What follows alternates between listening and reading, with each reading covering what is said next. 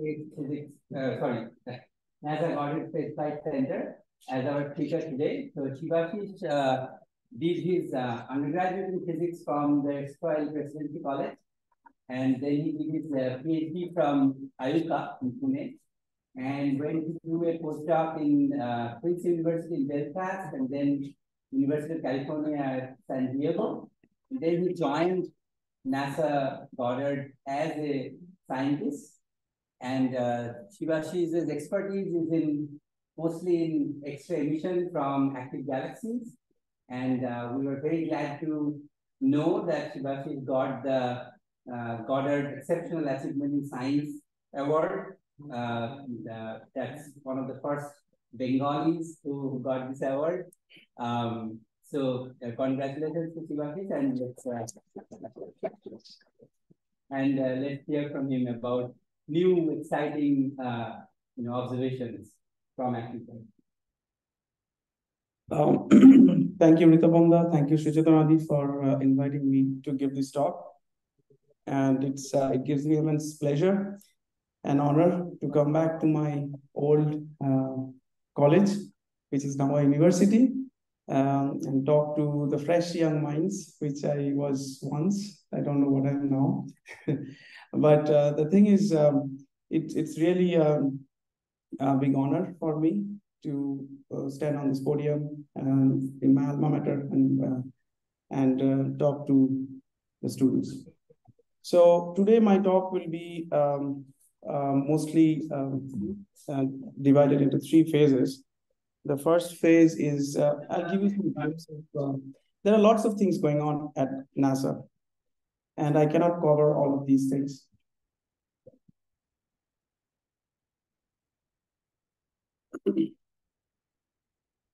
Um, there are a lot of things going on, and uh, including the moon mission Artemis. And you have seen uh, great exciting news from the ISRO moon mission as well.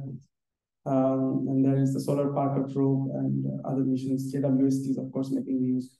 So I cannot talk about all of these. But if you want to ask me uh, questions, I can talk about that later. Um, I'll give you some uh, brief glimpses of uh, uh, very, very interesting observations by JWST in the last couple of years. And then I will jump onto my research topic, which is black holes. Um, I'll try to uh, explain what is black holes, and I know many of you actually know what is black holes and um, my my uh, work on black holes. And most interesting thing is that I want to talk about what I do as a mission support scientist. So at NASA, my main responsibility is to maintain our mission. So I, I am responsible as, as part of team, I'm responsible for SWIFT mission.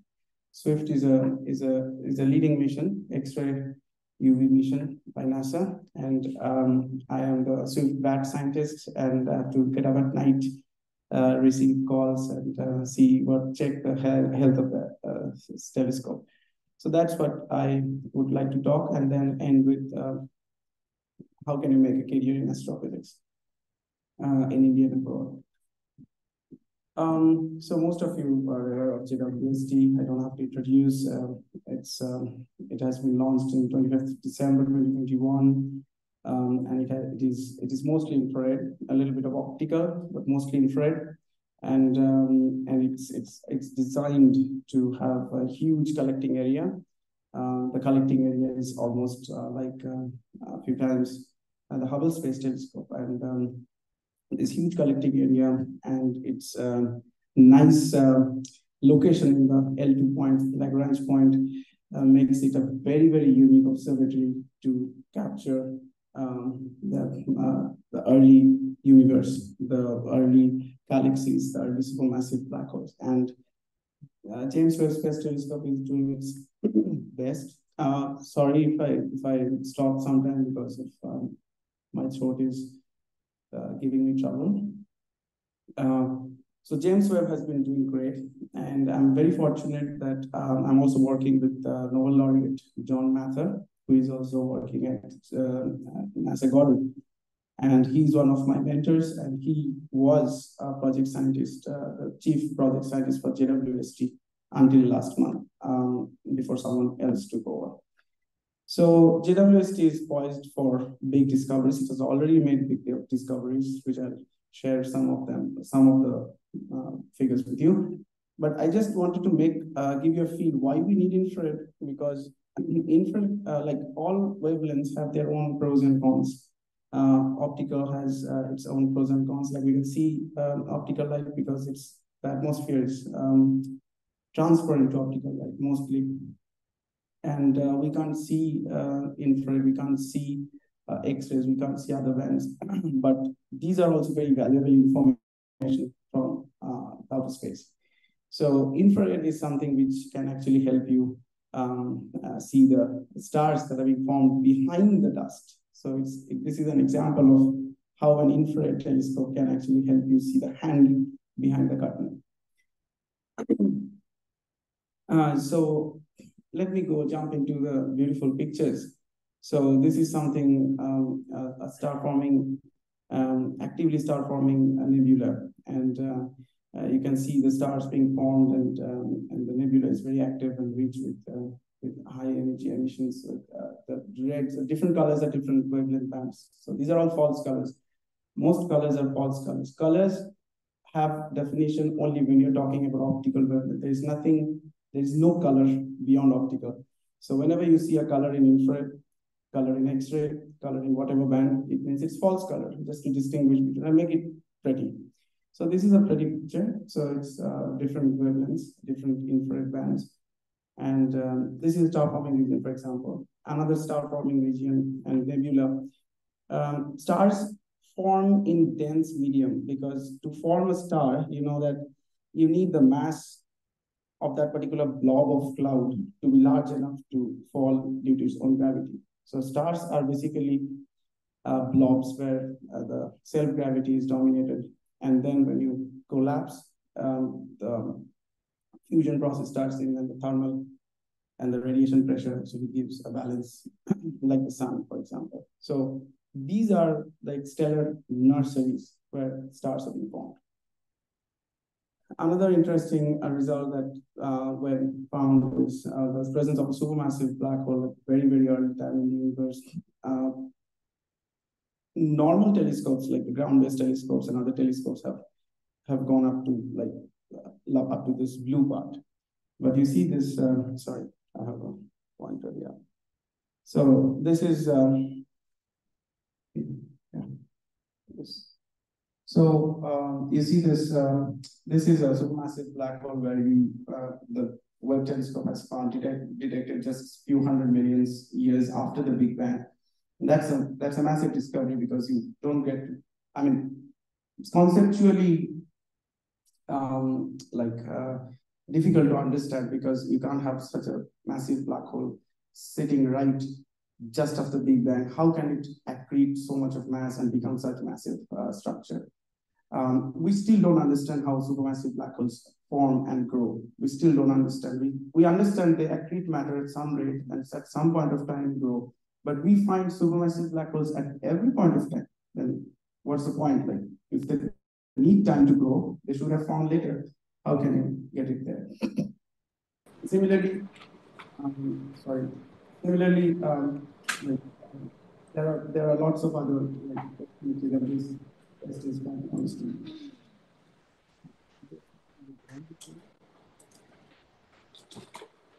Okay, so um, do you need the video?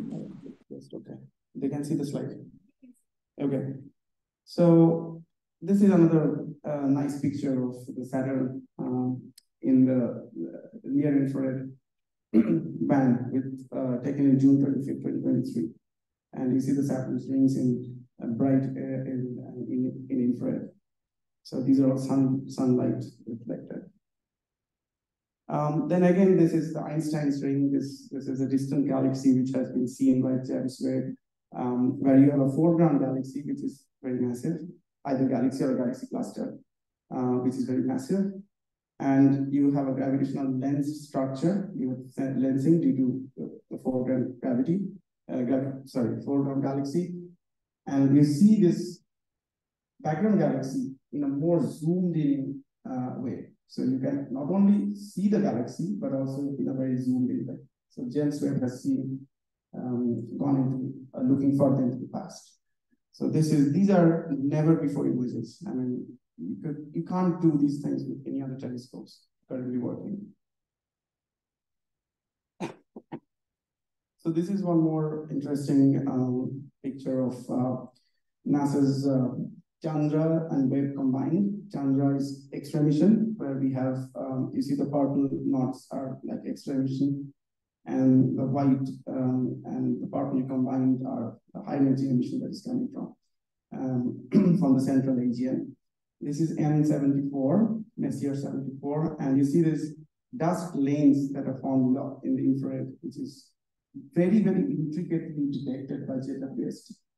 All of these dust lanes are filled with stellar nurseries and lots of stars are being formed here. So this picture is good, but if you are a real astronomer, what people do is study this small pixel and see what the stars are doing and how is it starting form. So you can actually correlate between the density of this particular region with the star forming rate. So you know in a spiral arm how the stars form and where the stars form. form. And these are huge information in, in galaxy evolution theories and how we understand how um, how stars form in, in, in, different types of galaxies. Um, this is the pillars of creation, of course. It's a very famous picture. You have seen it with HST, but uh, you have seen such uh, such clarity with um, with HST. So these are also stellar nebula, stellar nurseries, and uh, huge amount of uh, star formation goes on here as well. And um, this is also called Eagle Nebula, and uh, and uh, there are lots of uh, star forming regions and um, uh, I mean from behind the scenes, so you can see a lot of things behind the scenes that you couldn't have seen in HST these are like curtains of dust Another aspect, so I'm touching on different aspects. I mean, many of you know that all of these things are uh, extremely detailed things. So one one slide may actually takes one talk. So pardon me if I'm just rushing through because I have to talk about black holes. But um, these are something which all of us should know that JWST is doing um, enormous amount of science and you all can participate in that. And uh, you just need to uh, contact the right person, get the right science, and you have the right ideas. So this is like a, the sun. This is a this is not the real image, of course, but the light curve is real. this is a star, and this is a um, planet that is revolving around it. And JWST has seen the light curve um, drop down when there is the starlight only, as compared to when this when this planet actually reflects the light on the day side. So you see this is starlight plus the planet on the day side. This is starlight only, and this is starlight plus the planet on the day side. So you know what is the emission from the planet surface due to reflection. And you can calculate the temperature of the planet surface from this particular um, light curve. And also you know whether it's a rocky planet or, or other types. So this is something never before again. This is uh, another uh, like Wolf-Rayet star, which is a very bright star, which is going to become, hopefully become a supernova. But these type of stars also have a past history, and this history is shown in this dense molecular cloud that is that it has shed at different points of time. So this is the central star, and it has shed different layers at different points of time. And this is also a very important point of study. Um, galactic get-together. So these are type of these are the things which we still don't understand. Like galaxies merging and galaxies. Uh, what happens when a galaxy passes by our Milky Way, for example? What will happen? It will strip open the spiral arms, and it will just take away uh, the different material. But in what way? What, the physics? So these type of galactic dances are observed in, in several cases, and uh, JWST actually uh, gets a good glimpse of these. Stephan's quintet is also a famous example of uh, quintet means five. There are four actual galaxies, and one of them is just in, in background, I guess. So these galaxies are like in, in gravitational interaction with, with each other and they are like talking to each other. So, so this is also a very famous um, famous uh, source which uh, shows a lot of star formation and lot of um, lot of infrared emission.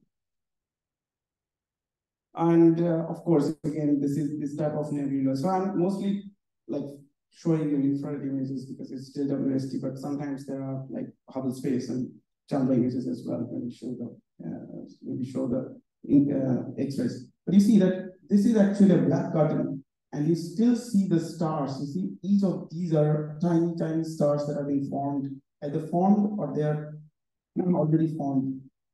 So you can see these stars with JWST, which you could not have um, with any other telescope. So this is this is what JWST does, um, and not HST. HST wouldn't have just uh, not observed any of these stars behind the curtain. And this is the deep field um, uh, dense galaxies. Uh, you see, this is the lens galaxy, which is like around 11 to 13 billion light, light years away. You see the lensing happening here due to this galaxy cluster. Okay, so I hope you enjoyed a little bit of uh, JWST glimpse. Uh, all of these things are like, again, one of one slide each is one hour talk. So, um, so go back, go, uh, go ahead and uh, take a look at um, the JWST website.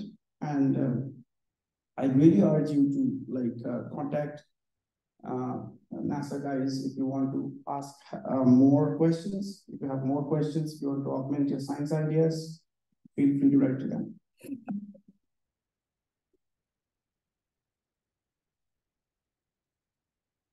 Now tell me, who have uh, not heard about black holes? Every one of you have heard about black holes. So that's a better question, not heard about black holes. So, um, so how many of you have worked on black holes? Like I'm just trying to gauge uh, students. Yeah, okay. So some of you have not worked on black holes, but you know what is a black hole, right? So no, I'm asking you because I I need to understand like how um, how should I present myself.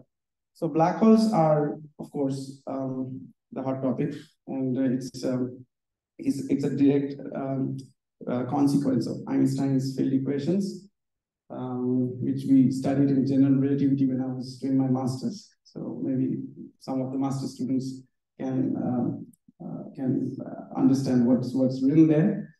Uh, R, R mu mu T mu mu T mu mu. Okay, and and there are lots of solutions to this equation in different different forms. Okay, so suppose you take a spherically symmetric object with no charge, no angular momentum, you end up with this Schwarzschild metric. It's a very simple solution which is not physical, but it's simple. Okay, fine. So Schwarzschild metric, you see all these singularities. Singularity means something with one divided by zero. So you see there is a singularity at r equals to 2 gm by c square. So black hole is something which we still don't understand. It is full of singularities beyond, like below certain radius, which is the event horizon.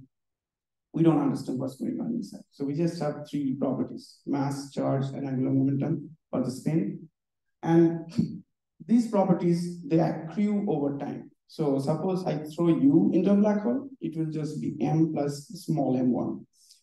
And uh, it, if I throw all of us, then it will be just the simple addition. It's very simple. Just add m1 plus m2 plus m3. So it's very, very simple. So Einstein did a lot of detailed maths, but this portion he was very simple. Just throw mass, it just adds up. But it was not until the visionary calculation of Chandrasekhar that we really appreciated black holes. So I just tell you a very brief story. Again, many of you know, but Chandrasekhar was the one who calculated um, using uh, both relativistic and quantum mechanical uh, calculations with with the with the uh, um, what do you call it? Um, how can how can a star be, become stable? What is the condition for stability of a star? and uh, we we write the equations like the uh, phase relation is uh, the pressure is proportional to the density to the power alpha, something like this. Now, he was the first to understand that if the star is more massive, it cannot stay put. It cannot be, it cannot hold itself. Why? Because there are two types of degeneracy pressures that come with. First is the thermal pressure, which is the main sequence stars, thermal and the radiation pressure, which is happening in the sun. That is very obvious, people know it fine. He came up with the idea that, okay, when the thermal and radiation pressure goes away, what happens? The, the gravity should act and it should fall in. So if it falls in, what will resist? So that time Eddington and all these big people said, no, nature is not a fool. Nature has some uh, mechanism by which it can resist things. Now, Chandrasekhar showed that at some mass, it will not be able to hold its, uh, beyond certain mass, it will not be. So the first um, problem is the electron degeneracy pressure. You know, in quantum mechanics, no two electrons stay, can stay in the same quantum state.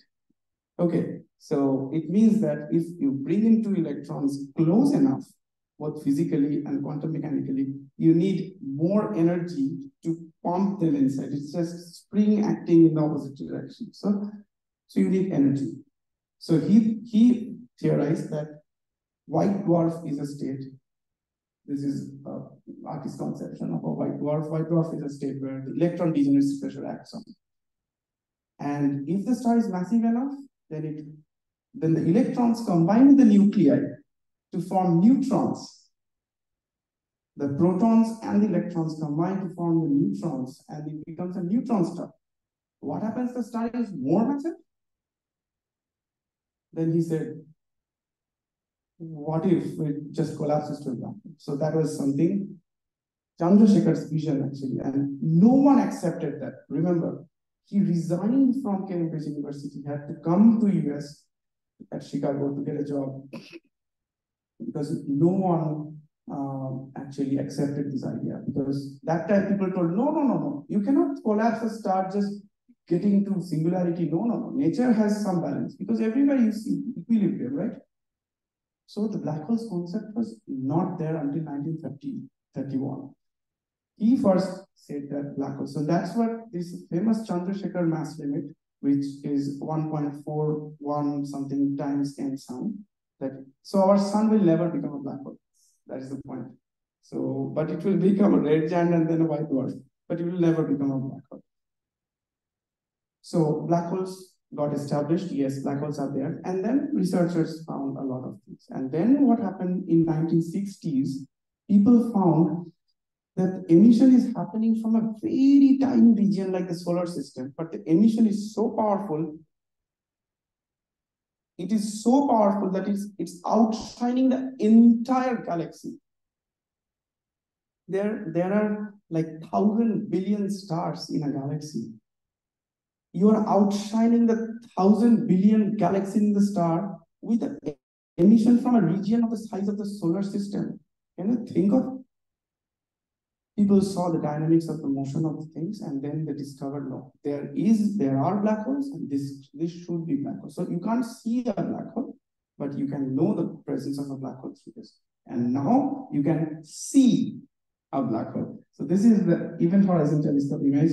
Again, I'm telling you, these are all one hour lectures.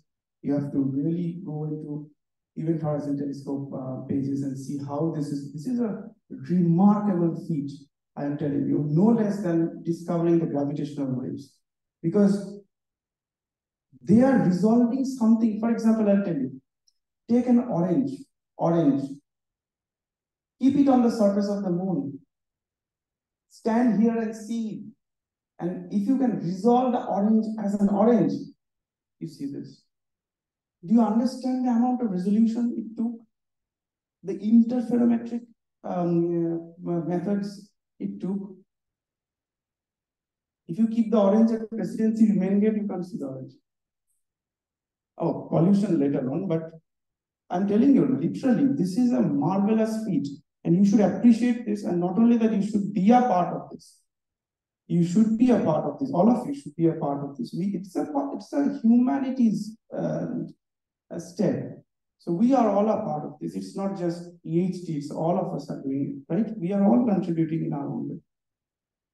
So an orange kept on the surface of a moon is something which they are seeing. This, this is the black hole. It's a distance of few megaparsecs. And you can see the black hole. so we are not seeing the black hole. This is the black hole shadow. This is the accretion disk. So we're not seeing the black hole. We, we can't see a black hole. Now, people ask me, well, how are black holes formed? I've already gone into video four. I've now shown you videos one, two, and three. So let me let me get back. Um, I feel you're enjoying, right? Enjoying. Okay, so let me show you video one. You will appreciate more. So you want to visit a black hole. You've packed your bags, you've updated your passport, and you're basically ready to jump on a spaceship and blast off. However, before you do that, I have just one piece of advice. Don't.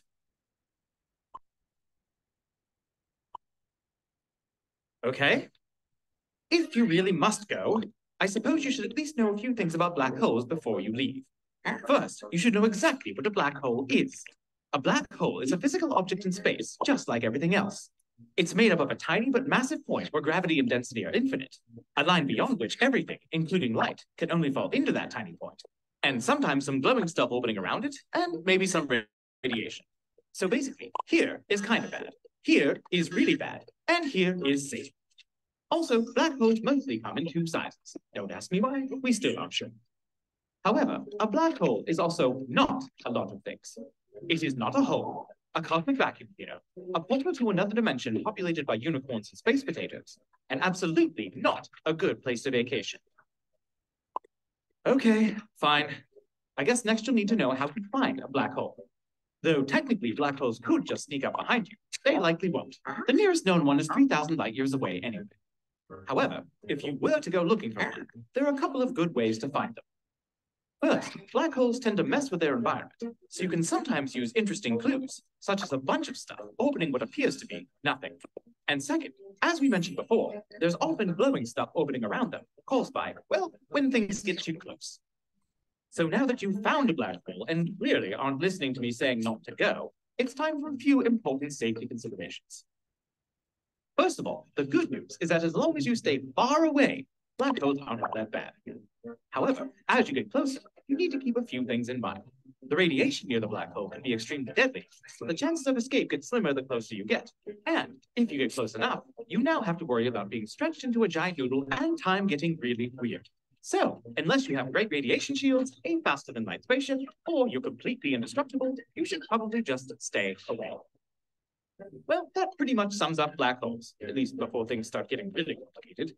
But before you go for real, please refer to the handy brochure on your spacesuit pocket, since there's quite a bit to remember. Now then, remember your tickets, enjoy your trip, and please, be careful.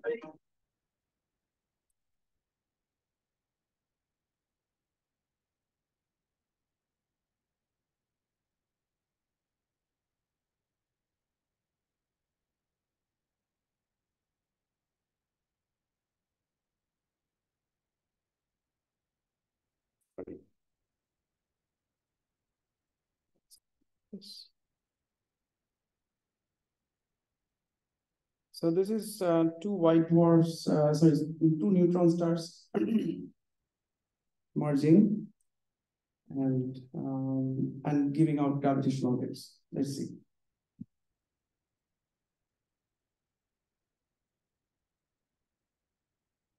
These are all gravitational wave tails. Um, and as it comes closer, frequency increases.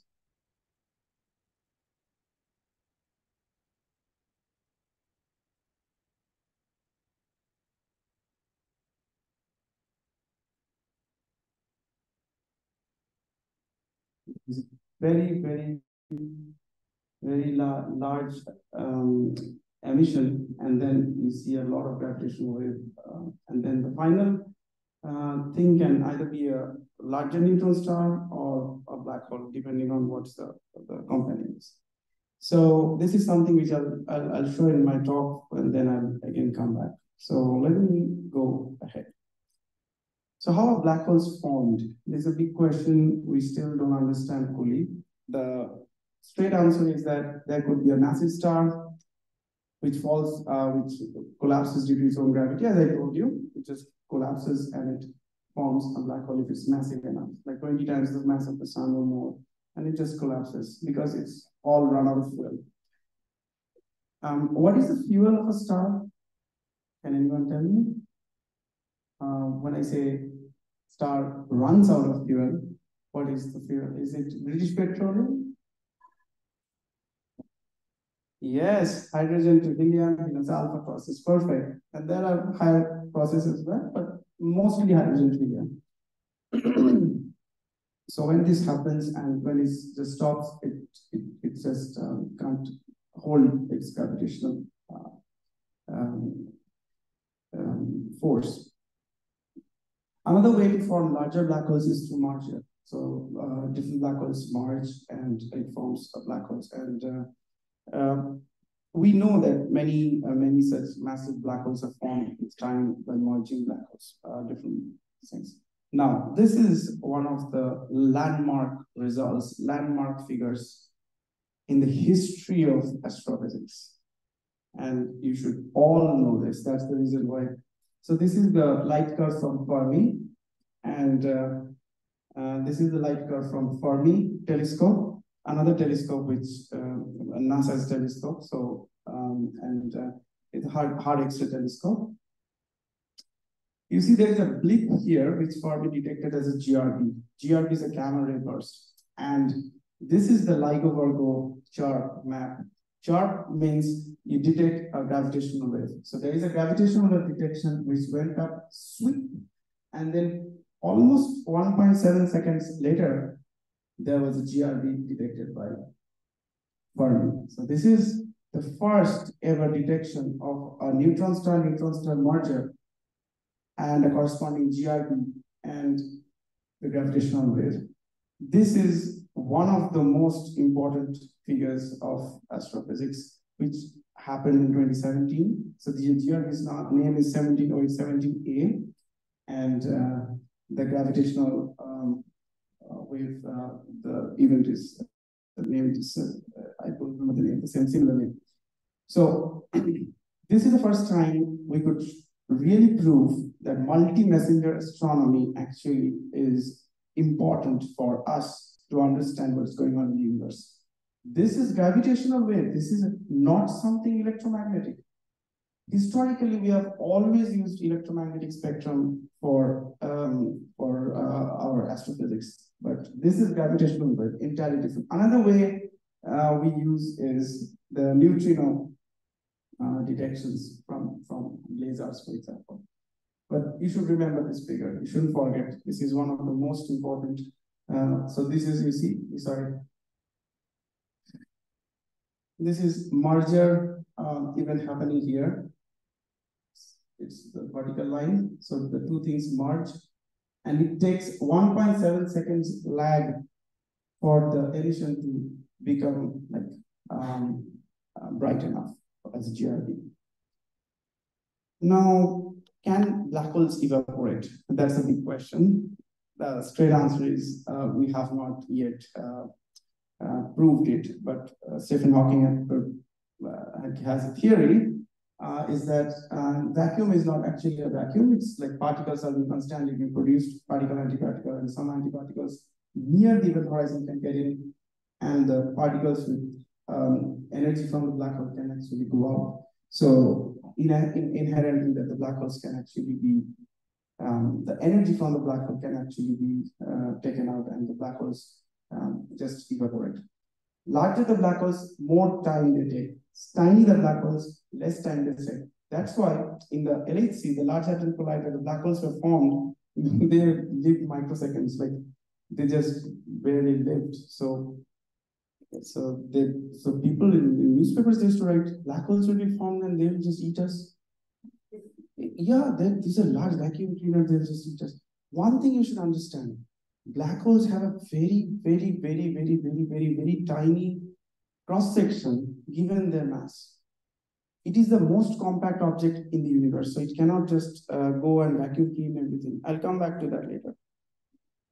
So how black holes um, eat stuff, like how they actually accrete matter. Black holes accrete matter through a process called accretion. Why black hole accretes matter and not just like eat matter? Just throw a stone in a pond, it just goes in. Can anyone answer this question? Angular momentum is a very good good guess, good answer, but what is exactly going on?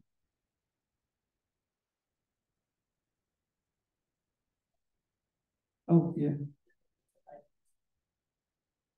Those are very heavy words. I am very novice, so I, I, I like very, uh, very down to earth answers. Can, can someone?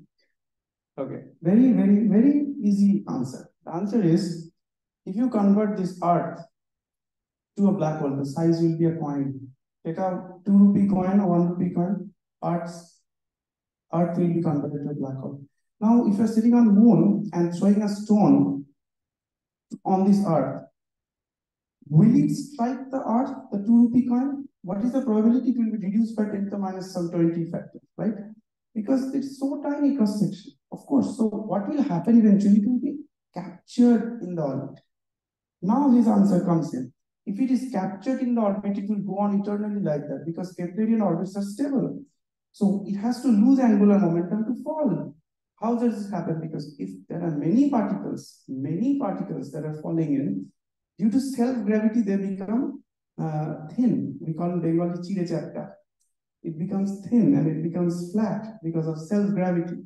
And that self-gravity helps also in some way, we still don't understand, how this particular flat structure loses angular momentum and falls in. So you have to lose angular momentum to go to one step in, one step in. So there are mechanisms, magnetic fields and other mechanisms viscous uh, effects, but the basic answer is that black holes have a very, very, very, very, very tiny cross section. It cannot just you throw matter black hole, it will get into black hole. No, never. It will if you are very lucky, like you are like luckiest person on earth. It will maybe go, but the you can calculate the cross section, which is uh, like uh, it goes as radius minus two, so radius itself is so small. So what happens is black hole actually eats matter. So this is a binary. Um, uh, this is a black hole, which is stellar mass black hole. This is a big star, and it is pumping in matter from the star. So the gravitational effect of the black hole also extends to the star. That's why it is a binary system but it is not eating matter directly from the star. It is not gulping it. What it is doing is pulling in little bit matter and it's getting it like this. So, so that's how black holes grow, and that's how black holes eject emission jets as well. Now, supermassive black holes are different class. Supermassive black holes, this is also an artist's impression. So supermassive black holes are like real giants. I'll show you a video which is video three, you can see the size comparison between different black holes. Um, yes, Supermassive black holes have a typical size of 10 to the power 6 or more mass of the sun. So it's huge, and you just see the size of black holes.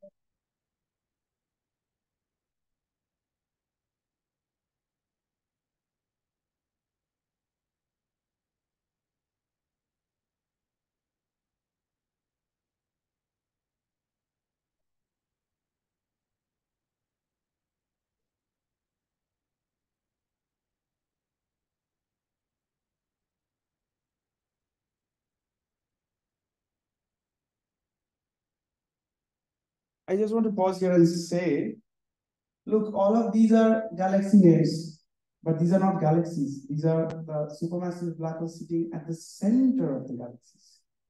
Now, this is a supermassive black hole. For example, a black hole that I study, I'll show you. So the size of the black hole and its event horizon is almost of the size of the solar system. Now, I told you just at the beginning of my talk, the black holes emit, the black holes don't emit, but the accretion disk emits so much of light from this tiny region. This is tiny, I mean, compared to solar system, we are tiny. But solar system is tiny compared to this massive black holes. So this is the size of the black hole. And it is emitting so much of, uh, the accretion is emitting so much of light that it's outshining the host galaxy with billions of stars. Okay, I'll complete this one.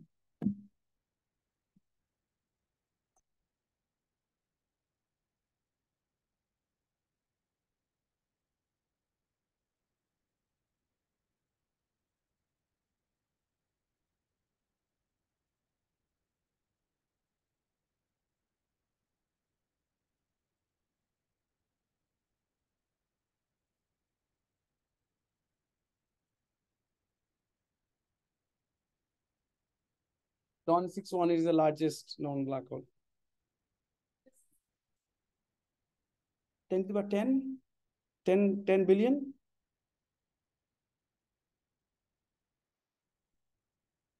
Okay, so where where we?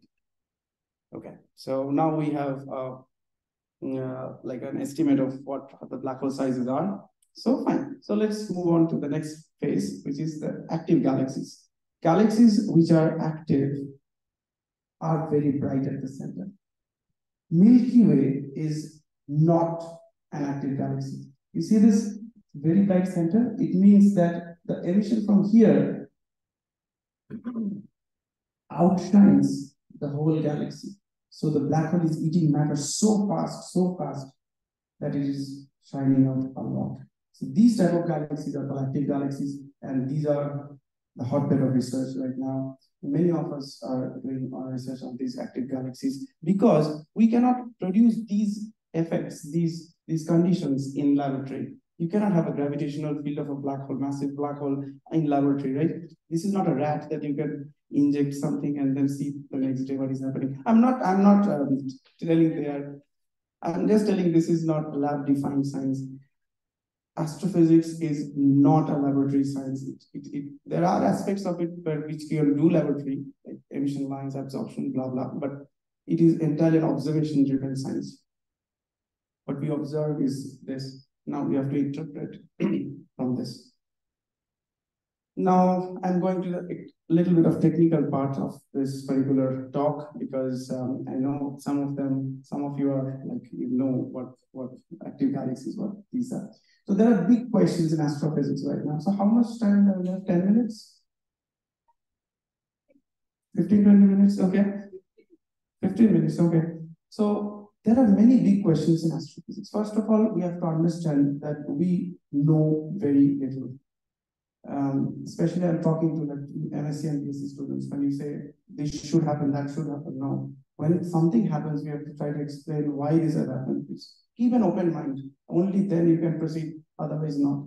So for example, there is a very tight relation between the mass of the central mass of the black hole in case of galaxies and the sigma, that is the distribution of stellar velocity in the bulge that is here, the mass of the black hole and the stellar velocity distribution. And the stellar velocity distribution comes from like large distance, like it can be kiloparsecs, very large black holes, gravitational effect is very tiny and in very small region.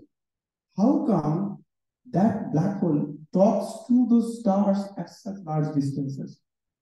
And in a very uniform way. We don't know. That means there must be a language. I'm speaking in English. If I speak in Bengali, some of you will understand, some not. If I speak in Kannadi, no one will understand, hopefully, because no one is from Kannada. If I speak in Arabic, no one will understand because these are the languages by which we communicate. So some languages we black holes must have developed to communicate with that. And the language can only be in terms of physics. There is energy, mass, momentum, etc. So all these all these type of languages or different aspects of the same language needs to be acting coherently in all types of galaxies. So there will be some basic physics underlying it in which the black hole talks to the host galaxy. And again, like there are like different um, different other questions, like for example, the cooling flow problem uh, in the intracluster medium, uh, where you have galaxy clusters which are very hot, very hot galaxy clusters. It should cool down. If you see the cooling rate, it should cool down a million of billion years. But there are galaxy clusters which have been there for billions of years, not cooled at all. So what's the point? What is supplying energy there? So again, it comes back to energy. Then there is the visible to baryonic mass ratio. What is the number amount of baryonic? We are all made of baryons, right? We are all made of elements. So what is visible to baryonic mass ratio? Do we see all the baryons sitting out there? No, we don't see. Theory says it should be 20%. Observed is less 10%. So that's called a missing baryon problem. We still don't see. That means it should be so hot that it's not emitting or doing anything. So all of these big problems are somehow related to the fact that AGN, the active galactic nuclear AGN, is a language. When black holes becomes too much hungry, they eat a lot, they throw out a lot. That is something which we believe happens, and we have seen that happen. So my talk, so I have worked in these fields um, quite a few years now. I'll I'll briefly show you some some results. You don't have to understand, don't have to like um, panic when you see see a momentum versus energy or some plot, but just keep in mind that these are something which we actually do. So this is again a schematic diagram of um, of a of a supermassive black hole accretion disk with lots of outflows that are coming up. So all of these outflows have different nature. So these are X-ray outflows, these are UV outflows, these are these are uh, optical outflows. And all of these outflows have their own role to play. These are different languages. I was talking of black hole languages, so these are different languages. So like in human society, all languages have their own role to play. These are also different languages by black, black holes. So for example, in, in the large scale, these optical outflows actually transfer matter, mass. In case of ultra-fast outflows, which are X-rays, they transfer a lot of energy and they move away sorry, remove a lot of mass out of the things. And how do you study that? You study that using absorption spectroscopy. So what is absorption? Suppose I keep this bottle in front of my eyes. Do you see the slide clearly? No, there is some distortion, there is some absorption, there is some something going on because it's an intervening medium. Similarly, black holes have the intervening medium in from, from the black hole and eyes because they're throwing off matter. How do you know those matters about studying those matters are through these absorption features. So for practicing as astronomers like us, these are the most beautiful things that can happen on Earth. For you, these are some sticks and some some something, right? Some, so what is this? Some bird walked around this place something like this. Oh, why don't you uh, hold it upside down? That would become Asian, right? So, so something like that. But truly speaking, these are something most beautiful um, uh, things that uh, we have uh, known for the last few few decades. And all of these absorption features that you see here are from uh, are from different telescopes um, of uh, NASA and ESA. So again, like I was showing that was a different type of absorption. Here are also different types of absorption where you see like um, the absorption features shift with time. So shifting means suppose a cloud on the sky. Do you see a cloud standing right there for 10 years? No, not even 10 minutes, right? The clouds move.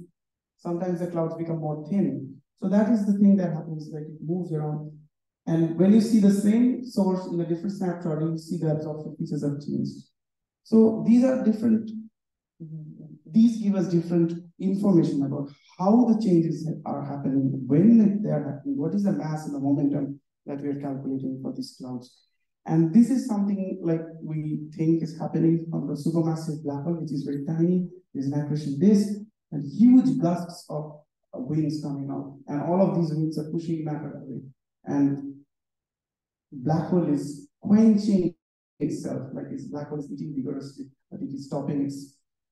At some point of time, there is a regulatory thing in um, in in in, in uh, physics. Uh, there is always uh, a balance. Like something cannot go on eternally, right? So black hole eating also stops at some point because black hole ejects a lot of matter, and that matter is, is throwing away particles out, and and hence it simply cannot uh, um, eat uh, for a long time. So, what is the conclusion from this is that black hole feedback is very important. Energies, the jets, this is the jet, these are the winds that are coming up. This is very important for us to understand how the black holes and galaxies evolve. And why do we need to understand? Because we need to understand who we are and from where have we come. So all boils down to philosophy. So these are the very fundamental uh, questions that we want to ask. Now, I've been talking about how black holes interact with the host galaxy. Now, how the host galaxy interacts with the black hole, we need to understand. You know how black hole is swaying out matter, but how the black hole is eating matter, we don't know. In most cases, we have seen that their black holes are shrouded with dense clouds. Now, how what these dense clouds, where are they do they come from? We don't know. And these are called torus. And these clouds are a part of the mechanism by which the black holes eat uh, matter through the accretion disk. And again, the spectrum. The spectrum that we see is that there is a very large absorption like this. This is an absorption spectrum which we see, and we know the presence of this type of clouds through this absorption spectrum.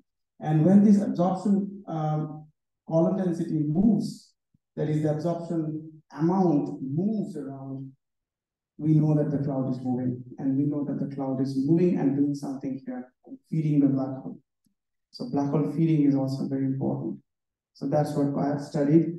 And you see these things are moving. So moving at a time scale of months to years. So it means black hole is doing something. We don't, this is not a direct evidence of black hole eating, but this is a direct evidence of matter moving around near a black hole. So possibly black hole is eating through this. I won't go into details of these, but these are something. So this is also a schematic of how this happens. Now the final part, I have just five minutes left. So the cases of changing look AGN. This is the most uh, recent and most uh, fascinating time domain science uh, questions that have uh, come up. And changing look AGNs are something which is like, uh, to put it in a very, very, very straightforward term is that sudden hunger of black holes, like the black holes becomes hunger, hungry suddenly, like within a few months, it accretes matter like very, very, very, very fast and huge, gives a huge amount of luminosity, 10 times, 100 times more than what it used to give. Then gradually falls, falls, falls, falls.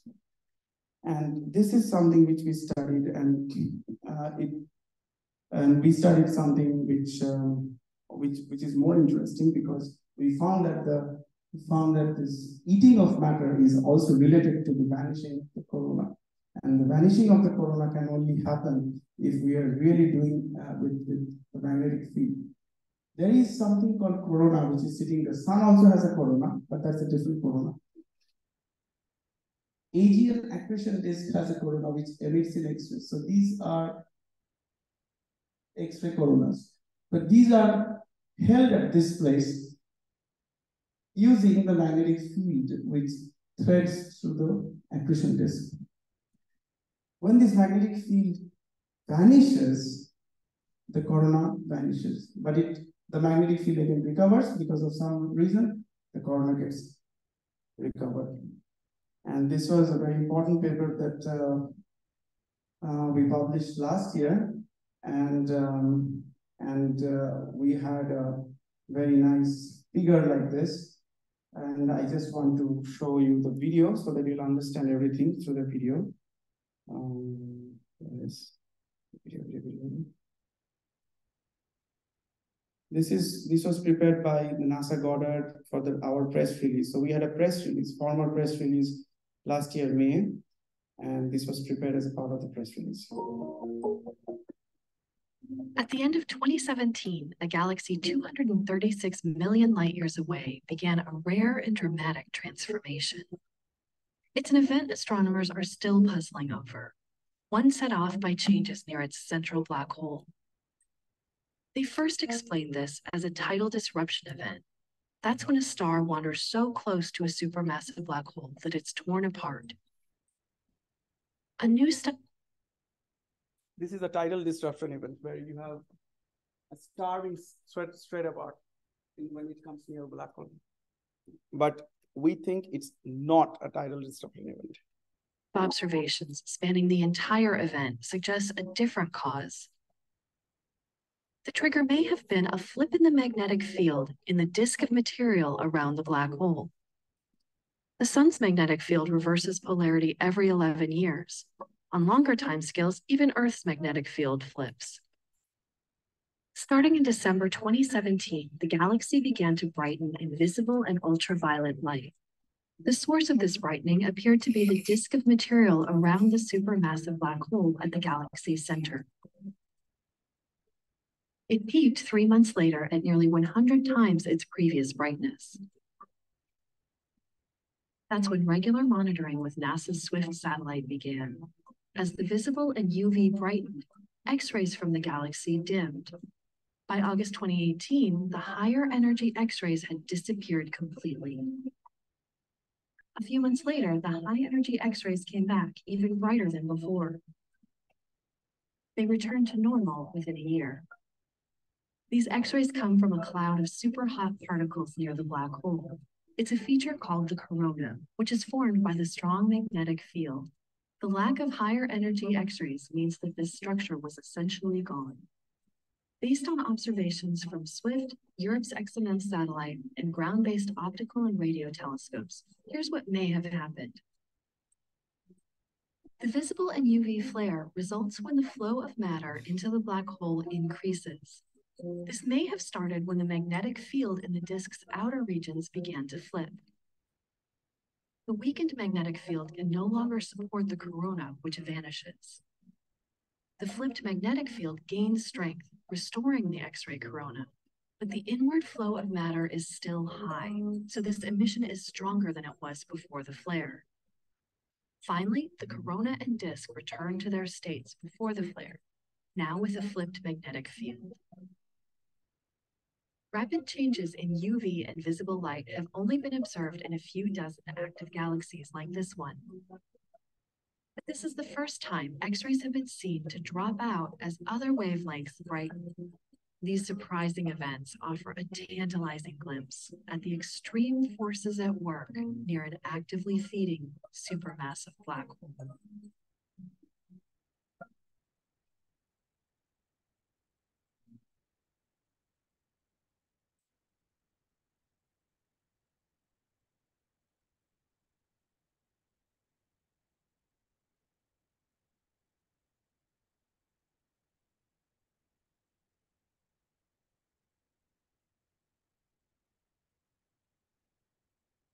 Okay, so um, so you all all know what this figure is, so I don't want to explain.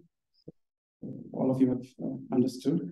So just to briefly tell you that this is the UV light curve which falls in like this, and you see the X-rays are vanishing. The triangle up on the list at the point X-rays are vanishing. This is called light curve. The day starting from some some day, and it vanishes, it goes up and down, and the UV light is falling normally. the radio is going on.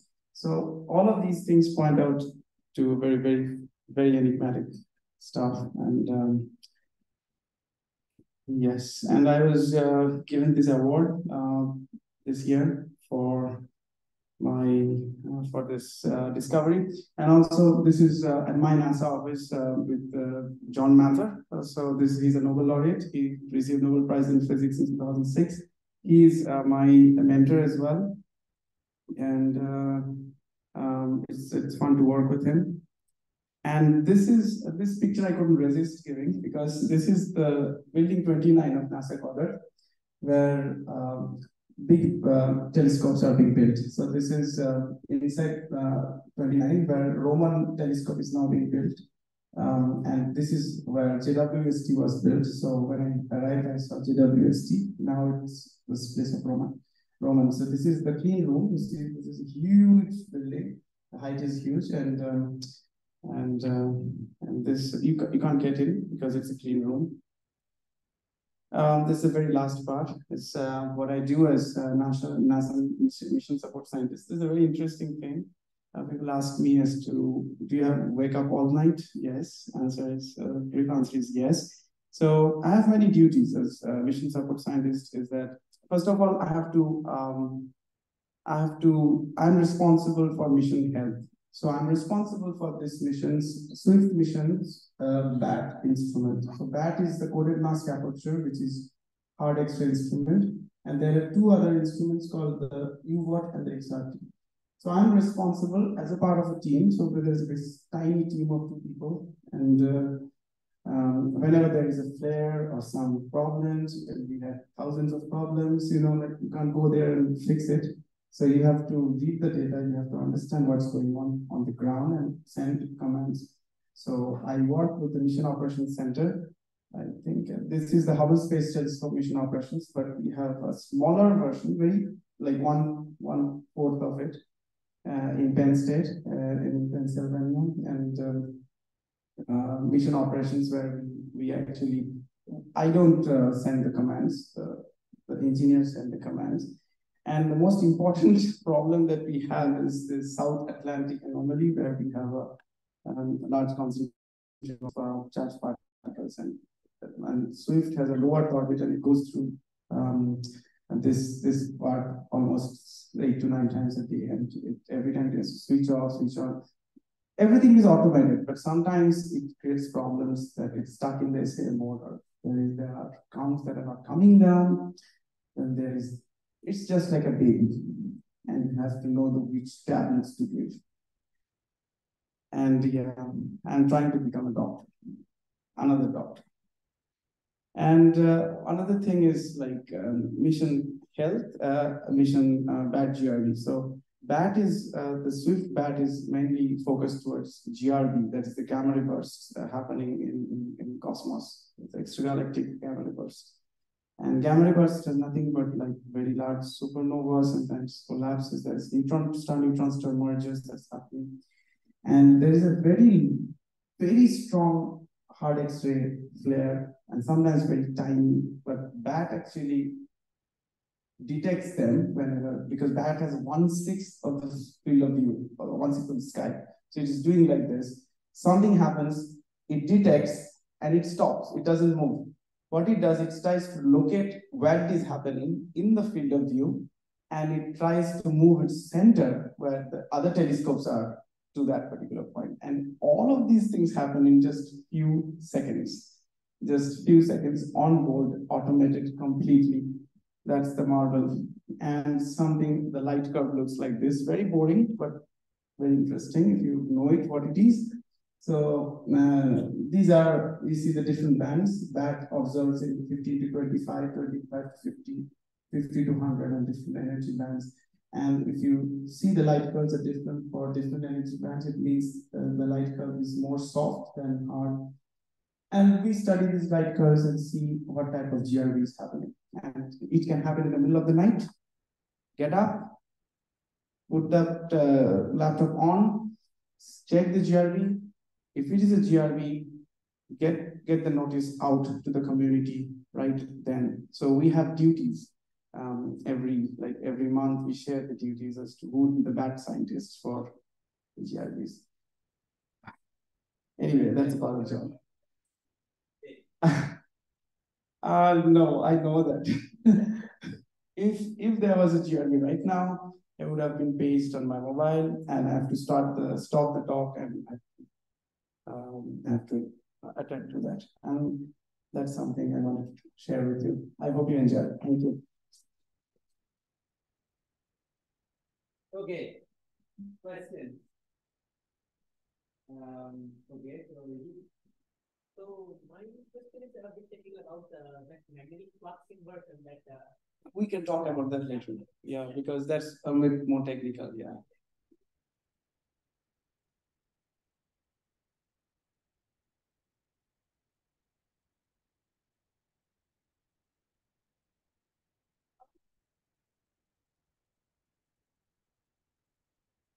Yeah, yeah, lensed is very easy because lensed you see multiple images of the same source, same source.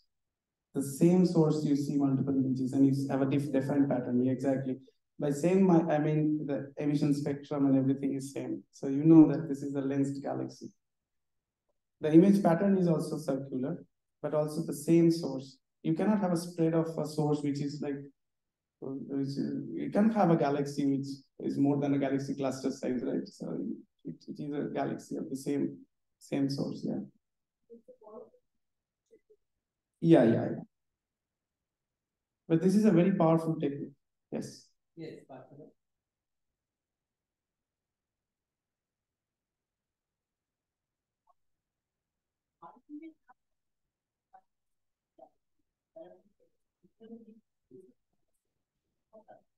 Okay, the the straight question. Do you mind using this so that I could feed the question to the? Okay, the straight answer is um, black holes tend to be at the gravitational center of the galaxy. Now, why it is? It's obvious because it's the gravitational center, so the black hole is very tiny, compact objects. Wherever it is, it has gradually